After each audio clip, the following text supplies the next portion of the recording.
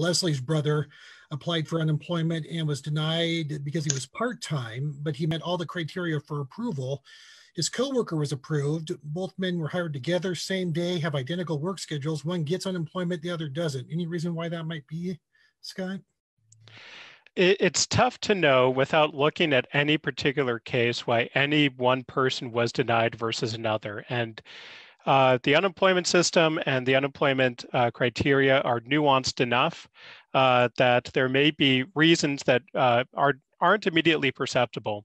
And sometimes it could just be that uh, there was an error made in filling out a form that caused it to go into a queue where it needed uh, additional investigation.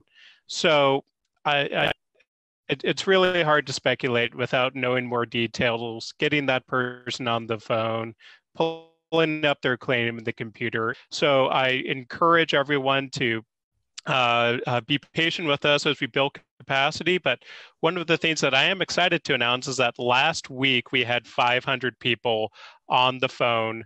Uh, this week we are uh, doubling that to a thousand. Uh, also, one of the things that was delaying folks getting answers on the phone was that uh, over the majority of people who are calling our phone lines didn't have any particular issues, uh, uh problems with their claim. They just wanted general unemployment information, information that uh, was, and so we were happy to give out give out those answers, but it was delaying uh, time for our claims agents to help process claims and get people moving that may be hung up in the process.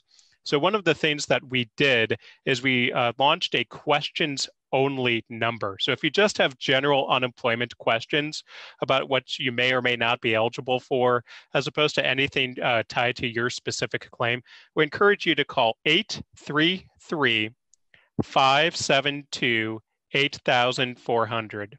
833 572 8400.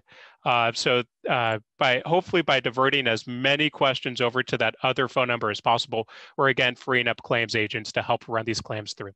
Uh, so uh, again, I, I sympathize. It, it's an it's a Byzantine uh, uh, system, even during normal times, and during abnormal times, we I apologize.